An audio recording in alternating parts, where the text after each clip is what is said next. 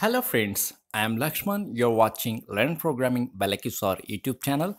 In this video, you will learn the main differences between Java and JavaScript.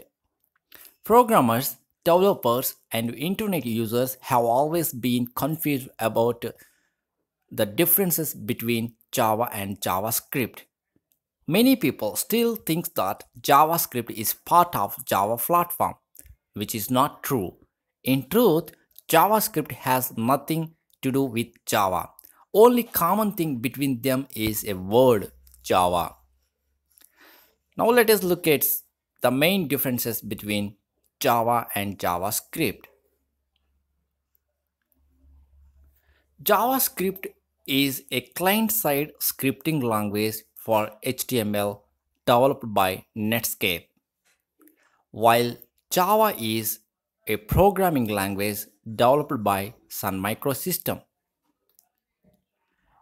Java is an object-oriented programming language. It is used for creating desktop applications or enterprise applications. To compile Java-based programs, you need JDK and JRE setup in your computer. Since Java is object-oriented programming language, everything you do under a class. While JavaScript is a client-side programming language. You don't need anything except a browser for running a script. In JavaScript, everything is objects or functions. There is no concept of classes. One more difference uh, which comes from this fact is that Java is run inside JVM and needs JDK or JRE for running.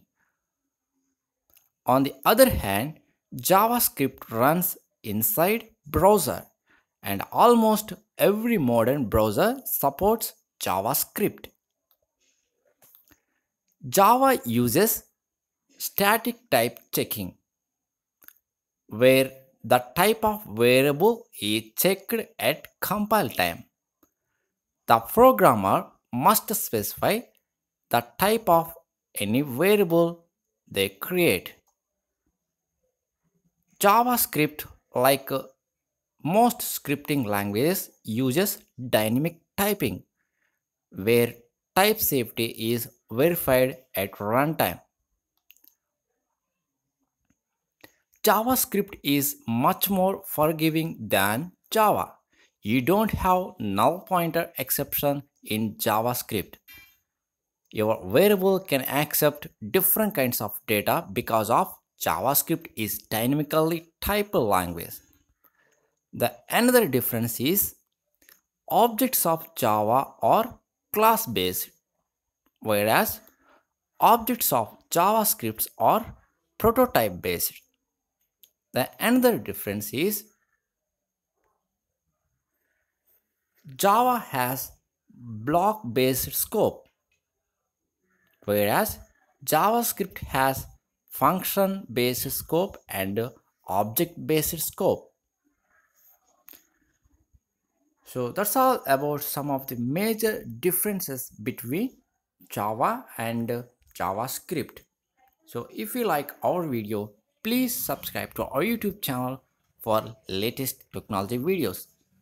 So thank you for visit. Have a nice day.